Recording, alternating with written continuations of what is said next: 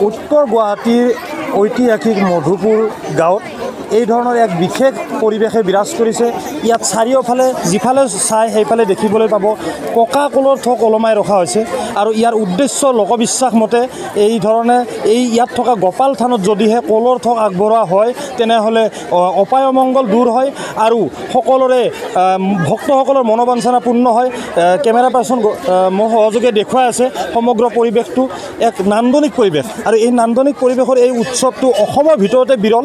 কেৱল মাত্ৰ উত্তৰ গুৱাহাটীৰ এই মধুপুৰ আ, গোপাল থানতেই যে এই উৎসৱ পালন কৰা হয় আৰু এই লগত সংগতি ৰাখি মোৰ সৈতে আছে কেইজনমান উদ্যোক্তা তেখেতসকলৰ পৰা মই জানিব বিচাৰিম আচলতে এই উৎসৱটো কেনেধৰণে পালন কৰা হয় দাদা কেনেধৰণে পালন কৰা হয় এই উৎসৱ? আচলতে উৎসৱ বুলি নহয় আমি এইটো ভক্তপ্ৰাণ ৰাইজসকল আহে ইয়াত গোপাল প্ৰভু থকা বুলি এটা অনুভৱ কৰে। মনৰ শান্তি পায়। ইয়াত আপোনাৰ পৰম্পৰাভাৱে আমাৰ কলৰ থোক আগবঢ়োৱাৰ এটা নিয়ম আছে মাহ প্ৰসাদ হিচাপে।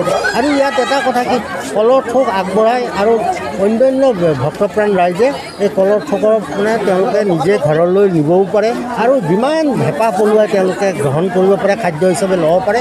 আৰু ইয়াত তাৰমানে কোনো অন্য ধৰণৰ মাহ প্ৰসাদৰো ব্যৱস্থা আছে কোনো অন্য কোনো কোনোবাই কল ছিঙি দিব এইটোও নহয় কল নিজে ছিঙিব পাৰে ঘৰলৈ নিব পাৰে।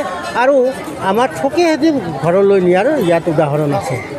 হয় নিশ্চিতভাৱে এই উত্তৰ গুৱাহাটীৰ মধুপুৰ গাঁৱত থকা এই ধূপৰ তল যি গোপাল থান আছে এই গোপাল থানত এই ধৰণে পকা কল আগবঢ়োৱা হয় আৰু অপায়মংগল দূৰ কৰাৰ কাৰণে। মোৰ সৈতে আৰু আছে কেইবাগৰাকীও ইয়াৰে উদ্যোক্তা তেখেতসকলৰ পৰা মই জানিম কেনেধৰণে এই মেলাখন অনুষ্ঠিত কৰা হয়। নমস্কাৰ।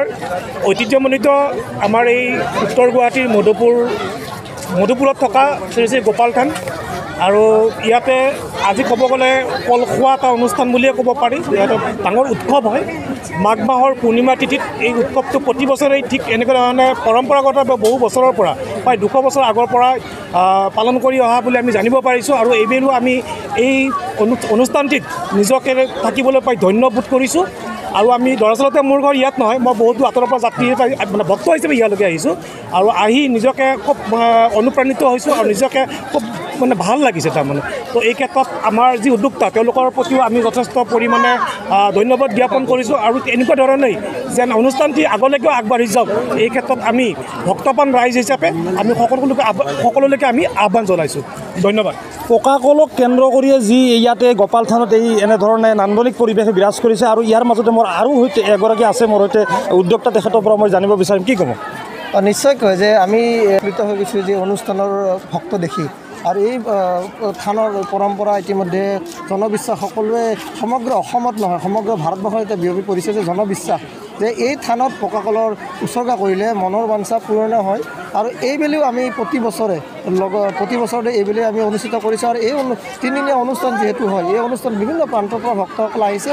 তেওঁলোকৰ মনৰ কামনাৰে পকা কল উচৰ্গা কৰিছে। আৰু ইয়াতে যিহেতু কোনো ব্ৰাহ্মণ্যবাদ নচলে ইয়াতে আমাৰ ভক্তসকলে নিজে ভক্তসকলে নিজে ইয়াতে আহ, প- পকা কল উচৰ্গা কৰে। অন্য আমাৰ প্ৰসাদ থাকে বুট মাহ হওক বা অন্য ভাত ভাতৰ ভাতৰ ব্যৱস্থা থাকে যদিও কিন্তু আমাৰ সকলোতকৈ অন্যতম প্ৰসাদ হৈছে পকা কল আৰু ভক্তসকলে নিজেই পকা কল উচৰ্গা কৰে আৰু নিজেই পকা কল ছিঙি খাই প্ৰসাদ হিচাপে। আৰু এই থোক হিচাপে?